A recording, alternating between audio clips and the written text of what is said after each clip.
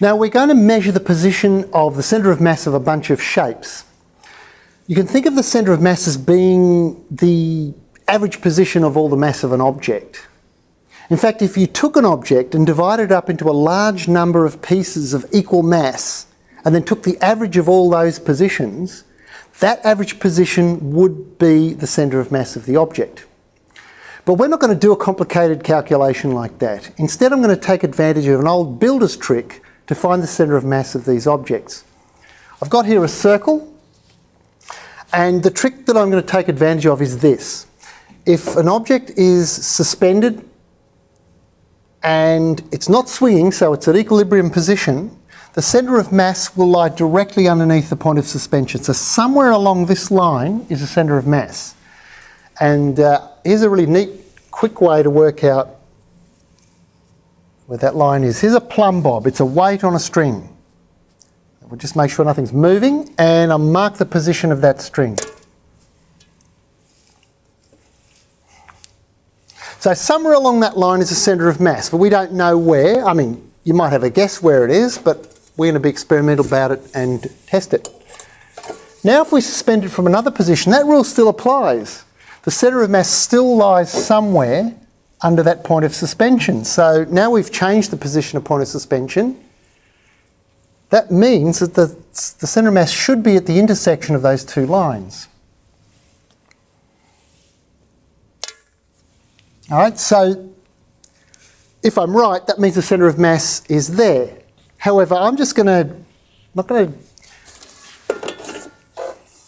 I'm not going to take my own competence as read. I'm going to just do one more to confirm that I haven't made a boo-boo.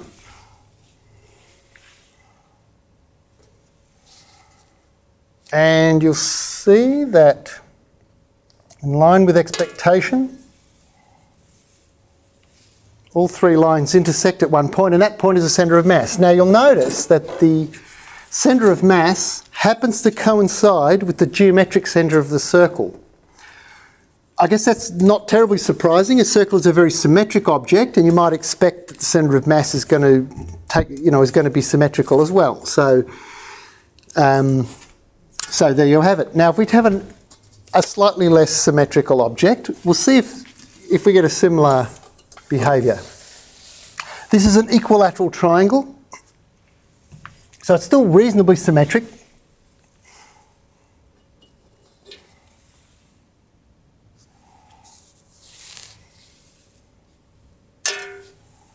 All right, centre of mass lies somewhere on that line.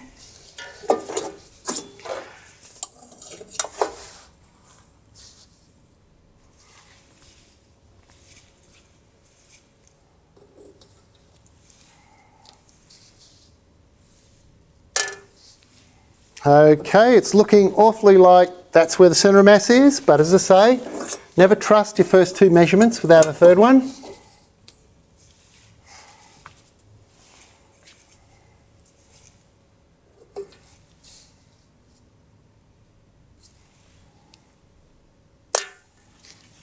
Bingo!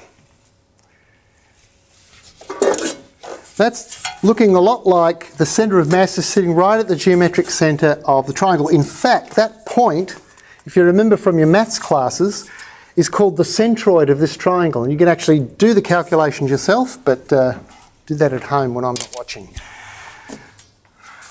Right, now we have a slightly less symmetrical object. Okay, it's a semicircle. It's, it's symmetric this way, so you know it's like a mirror image across here, but it's not so symmetric that way.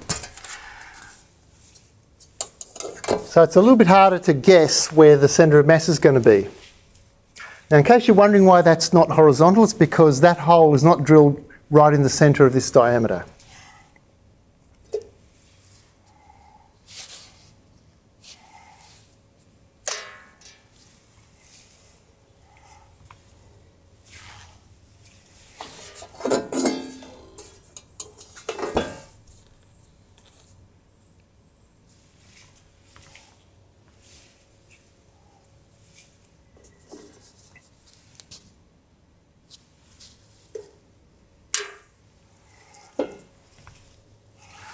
All right, looks like it's there, but never trust anyone over 30, so let's. Uh,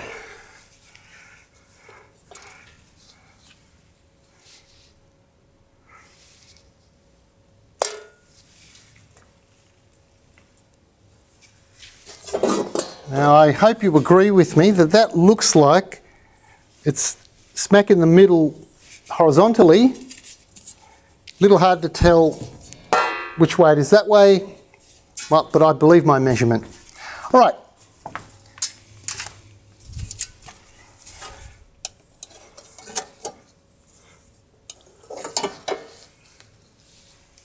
Now we're really uh, getting difficult to see what the symmetry is, so even harder to guess.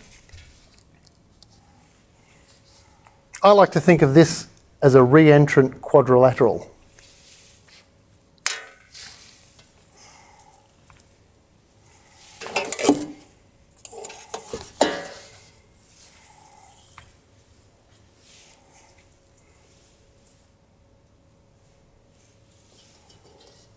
No prizes for guessing where it's going to be along this direction.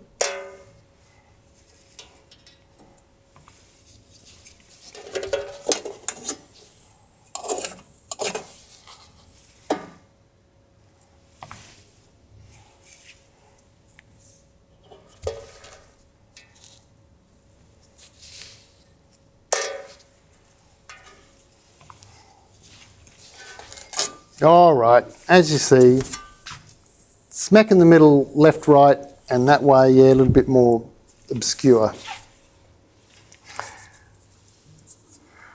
Now, I think by now you're getting a bit bored with all these symmetric shapes, so here we go. I've totally broken the mould here. Let's see, will I... Uh, hmm. All right, we'll start with that.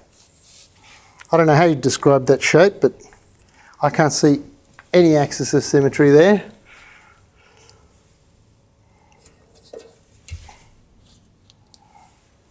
You'll notice the important thing about this shape is it's got a big bite taken out of it. That's going to, I wonder if that's going to cause problems.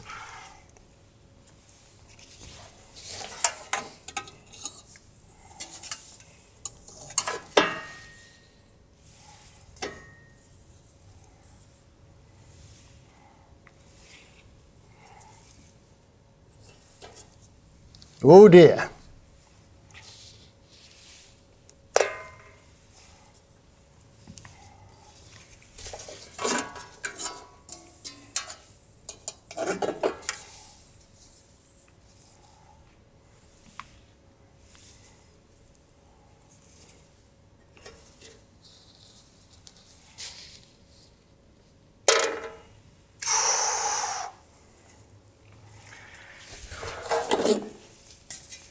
Can see here that the centre of mass is right on the boundary, right on the edge of the shape here. And in fact, if I had taken a little bit out of it, there's no reason why I couldn't have got it so that the centre of mass was actually off the object. The centre of mass does not have to be inside the object. When a high jumper jumps over a, a high jump bar, the experts jump in such a way, they flop over the, the high jump bar in such a way that their centre of mass actually passes under the bar. The reason for that is it means you don't have to, to do so much work to jump over the bar because the amount of work you do is going to depend on how high your centre of mass goes.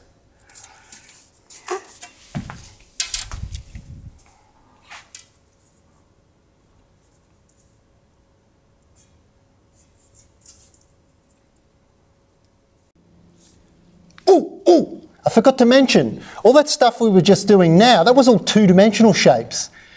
Once it's a three-dimensional shape, it gets far more complicated. Now, for example, look at this system here. Just like with the two-dimensional shapes, the centre of mass is always going to be sitting under the point of suspension when it's at equilibrium, which means the centre of mass is down here somewhere. Try this at home.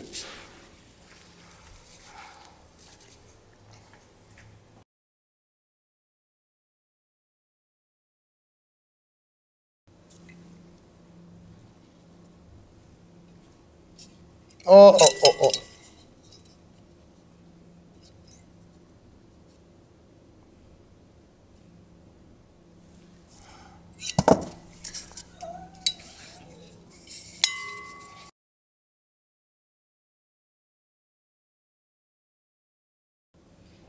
Okay, there we go, there we go. Quiet on the set.